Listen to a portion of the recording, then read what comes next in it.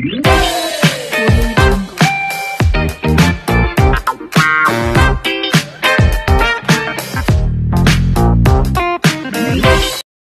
सभी को। मैं मत्तू केवट। मैं आज आपको भिन्न की सवाल हल करना बता रहा हूँ।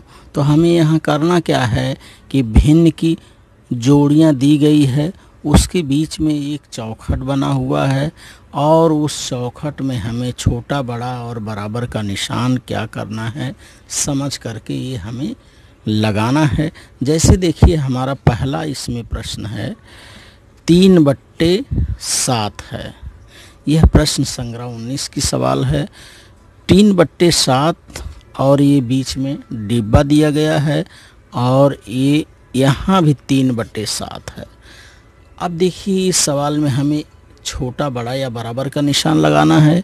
तो देखिए बच्चों, तीन बट्टे सात और यहाँ भी तीन बट्टे सात है अर्थात ये दोनों भिन्न समान है। तो यहाँ हमें बराबर का निशान लगाना होगा। इस तरह से इसका उत्तर आएगा।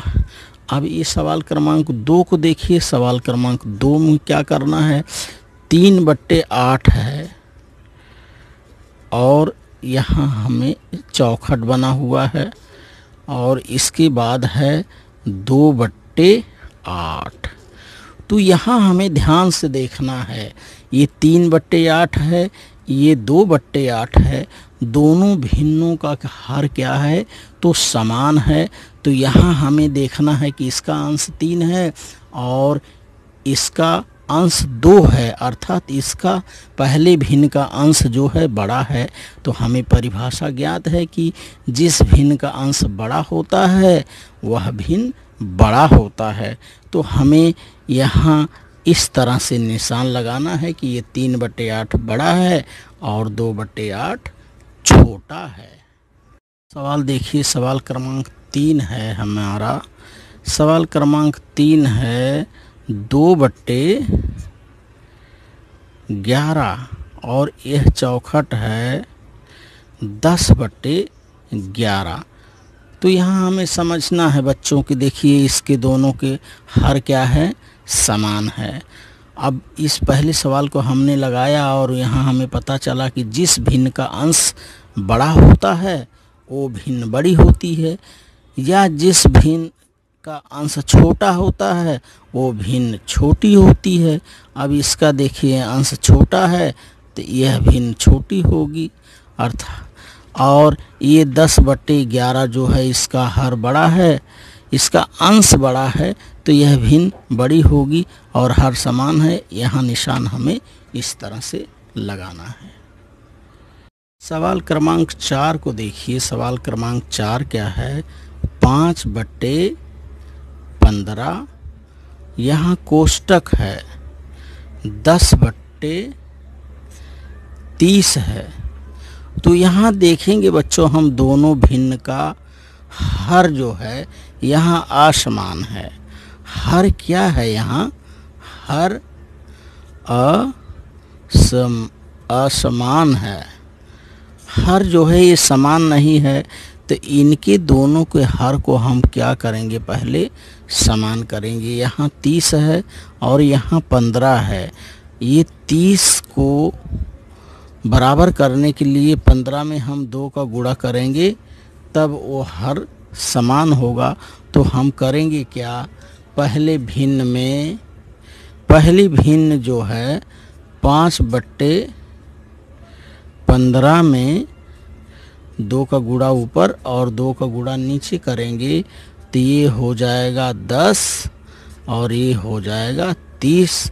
तो इस तरह से ये भिन्न बन ये भिन्न हो जाएगी। दस बट्टे तीस बराबर दस बट्टे तीस। अर्थात इस चौखट में बराबर का निशान लगाएँगे जब हम इनकी भारों को ये दस बट्टे तीस और ये भी दस बट्टे तीस हो जाएगी तो ये भिन्न क्या हो जाएगी? समान हो जाएगा। दोनों का हर समान होगा। तो इस चौखट में हमें बराबर का निशान लगाना होगा। इसके हर को हमें क्या करना होगा? समान करना होगा। हर को समान करने के लिए पाँच में दो का गुणा करें, दस हो गया। और पंद्रह में दो का गुड़ा किए, तीस हो गया तो पाँच बटे पंद्रह को भी हमने क्या किया? दूसरे भिन्न के बराबर बना दिया तो पहला भिन्न भी हो गई दस बटे तीस और दूसरी भिन्न भी हो गई दस बटे तीस। तो यहाँ हमें क्या करना होगा? इस तरह से बराबर का निशान चौखट में लगाना होगा। सवाल क्रमांक पाँच को देखिए बच्चों। पहला भिन्न है पाँच बटे आठ और दूसरा है नौ बटे आठ। तो यहाँ हमें दिखाई दे रहा है कि ये दोनों भिन्नों का अंश जो है समान है। जब भिन्नों का अंश समान होता है तो हमने, हमें परिभाषा ज्ञात है कि जिस भिन्न का हर बड़ा होता है, वह भिन्न छोटी होती है। तो यहाँ देखिए बच्चों, पाँच बटे नौ में इसका हर जो है, यह बड़ा है।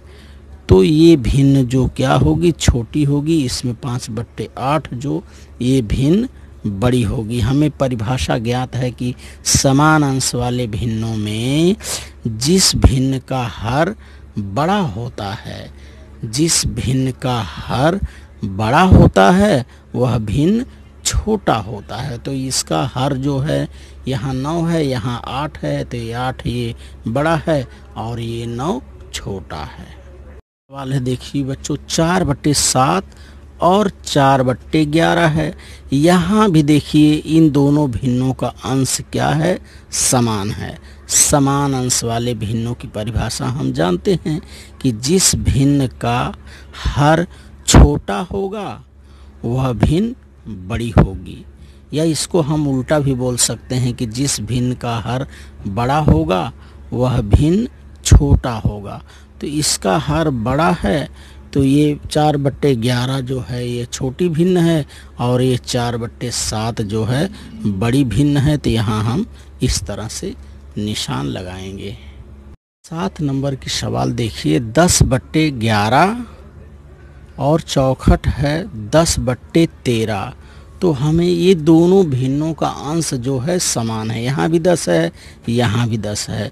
तो हमें यहाँ परिभाषा ज्ञात है कि जिस भिन्न का हर जो है बड़ा होता है, वो भिन्न छोटी होती है। तो यहाँ देखिए, इसका हर तेरह है, इसका ग्यारह है। तो ये दस बट्टे ग्यारह जो है, ये बड़ा होगा और ये दस बट्टे तेरह जो है, ये छोटी भिन्न होगी। तो इस तरह से हमें यह पहचानना है। इसे हम उल्टा भी बोल सकते हैं कि जिस भिन्न का हर छोटा होगा, वह भिन्न बड़ी होगी। या जिस भिन्न का हर बड़ा होगा, वह भिन्न छोटी होगी। तो इस तरह से हमें इन सवालों को ध्यान से लगाना है। क्रमांक आठ में देखिए, एक बट्टे पाँच अब चौखट में हमें भरना है, यहाँ है एक बट्टे नौ। तो ये दोनों भिन्नों का अंश जो है समान है बच्चों। जब दोनों भिन्नों का अंश समान होता है तो जिस भिन्न का हर जो है बड़ा होता है, वह भिन्न छोटी होती है। तो इसका देखिए हर जो है, ये बड़ा है, नौ है। इसलिए एक बट्टे नौ छोटा है और एक बट्टे पाँच ये जो है बड़ा है। इस तरह से हम निशान लगाएँगे। सवाल क्रमांक नौ को देखिए बच्चों, पाँच पाँच बट्टे छः, अब यहाँ कोष्टक है, एक बट्टे आठ। तो ये दो, ये दोनों भिन्न को ध्यान से देखेंगे तो यहाँ पाँच बट्टे छः है, यहाँ एक बट्टे आठ है। अब इसका हर छः है और इसका आठ है और इसका पाँच अंश है, इसका एक अंश है तो ये असमान भिन्न है। तो बच्चों, हमें इस सवाल को समझने के लिए पहले इसे समा, इसके हर को हमें समान करना पड़ेगा। तो हर को समान करने के लिए एक उदाहरण है जिसे हम तीरिय गुड़ा करके लगाते हैं। देखिए, इस सवाल को मैं समझा रहा हूँ। पहला भिन्न है पाँच बट्टे छः। पाँच बट्टे छः में देखिए, ये पाँच बट्टे छः पहले भिन्न में दूसरे भिन्न का जो हर है, वो ऊपर नीचे इस तरह से गुणा कर देते हैं। इस आठ का मैंने गुणा कर दिया तो ये हो गया आठ पंचे चालीस, और ये हो गया आठ छः अड़तालीस। तो इस भिन्न का मान आ गया चालीस बट्टे अड़तालीस। इसी तरह से अब दूसरे भिन्न का मान निकालने के लिए एक बट्टे आठ का मान निकालने के लिए, संहार करने के लिए एक बट्टे आठ। पहले भिन्न का जो हर है, ऊपर नीचे, दोनों भिन्नों में गुड़ा करने पर छः एक कम छः और आठ छः अड़तालीस। तो अब देखिए, पाँच बट्टे छः का मान क्या मिल गया हमें? चालीस बट्टे अड़तालीस और ये छः बट्टे अड़तालीस। अब हमें ध्यान देना होगा कि ये चालीस बट्टे अड़तालीस हो गया और छः बट्टे अड़तालीस हो गया। अब दोनों भिन्नों का क्या हो गया बच्चों? यहाँ हर जो है, ये समान हो गया। दोनों भिन्नों का हर जो है, समान हो गया। अब यहाँ देखेंगे ये ये बड़ा है। ये चालीस है और ये छः है। तो हमें यहाँ समझना है कि जिस भिन्न का अंश बड़ा होता है, वो भिन्न बड़ी होती है। यहाँ हमें इसका सूत्र समझना है कि समहर भिन्नों में जिस भिन्न का अंश बड़ा होता है, वह भिन्न बड़ी होती है। तो यहाँ ये चालीस है, अर्थात ये चालीस बड़ा है छः से। तो हमें यहाँ इस भिन्न का मान मिल गया पाँच बट्टे छः जो है, ये पाँच बट्टे छः भिन्न जो है, एक बट्टे आठ से क्या है, बड़ी है। तो हमें यहाँ मिल गया कि पाँच बट्टे छः जो है, बड़ा है, एक बट्टे आठ से। इस तरह से हमें ये असमान भिन्नों को लगाना है। अब बच्चों, इस सवाल को देखिए, पाँच बट्टे बारह और एक बट्टे छः ये दोनों असमान भिन्न हैं। तो हम करेंगे क्या पहले?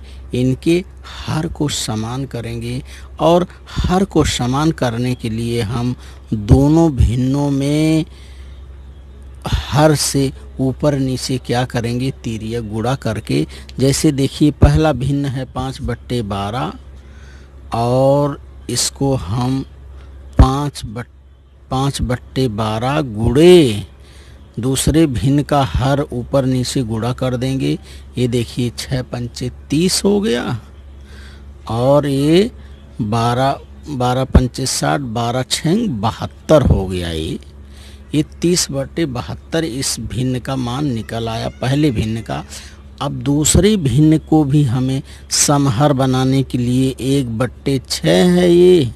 अब एक बट्टे छः में पहले भिन्न का हर जो है ऊपर नीचे ऐसे लिख करके गुड़ा कर देंगे। अब देखिए बारह एक कम बारह हो गया और ये बारह छः बहत्तर हो गया।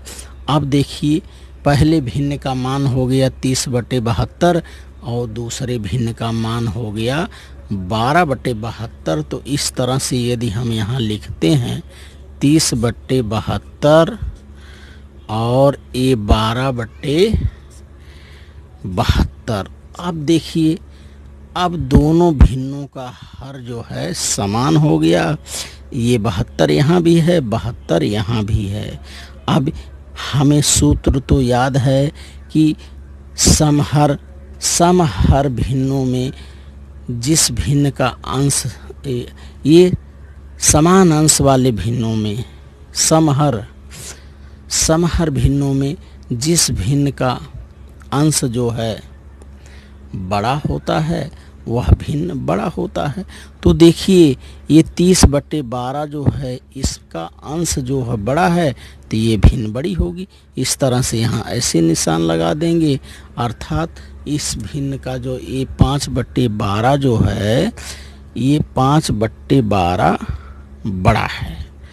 एक बट्टे छः से इस तरह से हम निशान लगा लेंगे तो जिन भिन्नों का अंश और हर अंश और हर अलग अलग होगा तो उसको क्या करेंगे हम लगाने के लिए हर को पहले समहर भिन्न में परिवर्तित कर लेंगे।